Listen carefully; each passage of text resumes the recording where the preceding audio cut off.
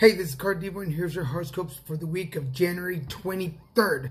For Aquarius, it's time to give just a little bit more. For Pisces, stop. Whatever it is, just stop right now. Aries, you're not really saying what you want to say. For Taurus, you've blown up enough steam. Time to get back to work. For Gemini, this time it is personal. Take it that way. For Cancer, I think you're done with this. It's time to have a new strategy. For Leo, you can do this on your own. You don't have to ask so many people. For Virgo, are you really being grateful for the situation? For Libra, you've been patient enough. It's time to move forward. For Scorpio, you're not sharing your gifts. For Sagittarius, your well is full enough. It's time to move forward. And for Capricorn, it doesn't matter if you change people, place, or things. The story is staying the same. Remember to like, share, follow, comment, and I'll see you next week with more horoscopes. Bye.